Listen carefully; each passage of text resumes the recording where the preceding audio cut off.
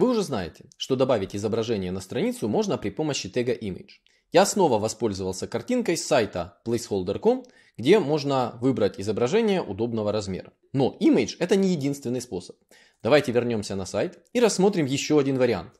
Можно добавить картинку как фоновое изображение. Для этого я должен использовать CSS. Давайте это сделаем. Я для элемента с классом контейнер добавляю background image и сюда вставляю адрес картинки. Я копирую вот этот адрес, вставляю вот сюда. И теперь я вижу, что никакая картинка на странице не появилась. Почему так? Дело в том, что сейчас мой контейнер не имеет вообще размера, в нем нет содержимого. Фоновое изображение просто заполняет фон. Давайте установим для моего контейнера какую-то высоту. Я пишу здесь, например, высота у меня будет 500 пикселей. И я вижу, что у меня появился блок, который на фоне заполнен моими изображениями. Давайте рассмотрим, в чем принципиальная разница между обычным изображением и фоновым.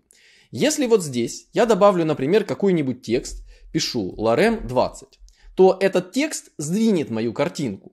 То есть мой текст является каким-то содержимым, и он сдвигает картинку. Если же я добавлю какое-то содержимое внутрь блока, давайте вот здесь я напишу lorem 20, то этот текст будет поверх фона. Таким образом, фоновое изображение не является контентом, не сдвигает остальной контент и используется просто для стилизации. А вот тег image используется для размещения каких-то важных смысловых картинок, а не просто для стилизации. Окей, давайте пока уберем текст, он нам пока не понадобится. А теперь давайте посмотрим, какое еще есть отличие между обычным изображением и фоновым. По умолчанию тег image имеет размеры картинки и не повторяется. Фоновое же изображение также имеет те же самые размеры по умолчанию, но повторяется так, чтобы полностью замостить весь свой элемент. Если мы не хотим, чтобы фоновое изображение повторялось, мы можем воспользоваться свойством background repeat и установить здесь значение noRepeat. Давайте добавим рамку нашему элементу. Я пишу border 2 пикселя. Например, как обычно, у нас будет solid blue. И я вижу, что элемент у меня имеет больший размер, чем картинка. Если я хочу, я могу сделать так, чтобы картинка повторялась только в одном направлении. Например, repeat x. Тогда картинка будет повторяться по горизонтали. Или repeat y по вертикали. Стандартное же значение, как вы уже заметили, это repeat, когда картинка повторяется по обоим осям. Давайте пока установим значение noRepeat, так чтобы наш фон не повторялся. Конечно же, обычно мы хотим, чтобы фоновое изображение покрывало весь элемент. Для этого мы можем воспользоваться свойством background size. И здесь есть такие же значения, как и для свойства object fit. Contain – это такое значение, когда фоновое изображение будет умещаться полностью внутри нашего контейнера без искажения пропорций. Давайте зададим нашему блоку какую-то ширину, например, в 600 пикселей. И теперь я вижу, что моя картинка ужалась так, чтобы быть полностью видна. Управлять положением этой картинки можно при помощи background position. Я пишу здесь значение, ну, например, 0,0. И тогда позиция будет начинаться от верхнего левого угла. Если я укажу другой background size, ну, например, укажу здесь ширину в 300 пикселей, то тогда я увижу, что моя картинка имеет размер в 300 пикселей и располагается в левом верхнем углу. Если я поставлю здесь значение center, то тогда моя картинка будет точно в центре. В описании к уроку я оставлю ссылку на документацию, где будут полностью расписаны все возможные значения background size. На практике же чаще всего мы хотим, чтобы наша картинка полностью покрывала всю площадь элемента. И здесь удобнее всего использовать значение cover.